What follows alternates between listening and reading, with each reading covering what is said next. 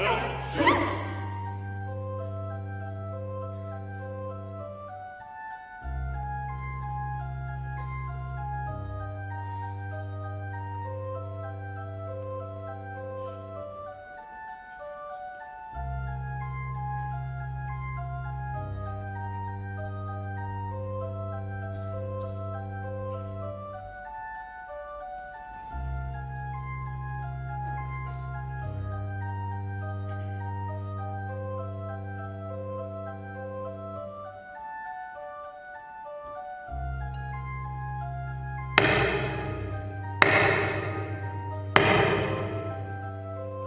In this court, all men are equal. You have heard those words many times before. All men are equal. But what about all women? Are women the equal of men? There are those who tell us that they are. Last week, an auspicious meeting of women was held in Kalamazoo. The meeting was addressed by a very prominent lady who is noted for her modesty. She is so modest that she blindfolds herself when taking a bath. Modesty runs in her family. She has a nephew who's just 10 years of age, and sometimes the nephew says, I'm going to the Forbidden Names store. The little fellow is too modest to say, I'm going to the A and P. Well, here's what that modest lady said to the gathering of women in Kalamazoo.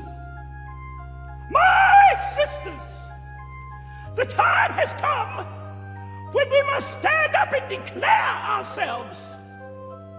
For too long have we been trodden under the feet of men.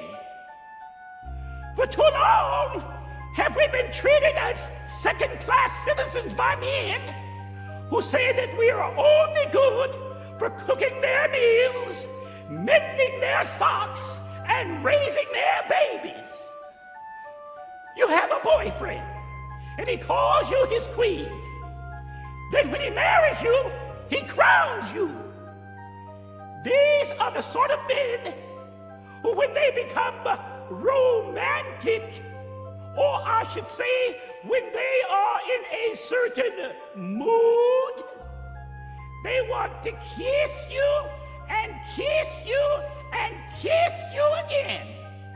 My sisters, put your faces against it.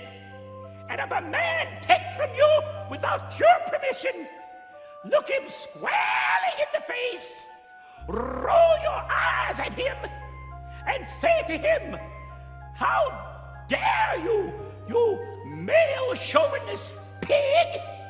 You put that kiss right back where you got it from. My sisters, we are in bondage and we need to be liberated. Liberation is our cry. Just yesterday, I talked with a woman who is the mother of 15 children. And she said, Yes, I want to be liberated from the bedroom. And so, my sisters, the time has come when we must let this male chauvinist understand that the hand that changes the diapers is a hand that shall rule the world. And now, my sisters, let us stand and sing our national song. For of you who have not yet memorized the words, here they are. The woman's day is drawing near. It's written in the stars. The fall of men is very near. Proclaim it from the, your cars.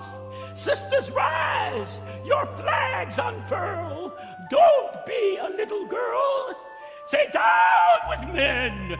Their power must end. Women shall rule the world. Thank you.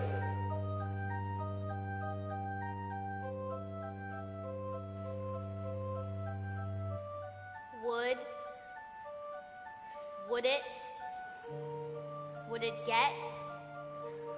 Would it get some? Would it get some wind? Would it get some wind for? Would it get some wind for the? Would it get some wind for the sailboat?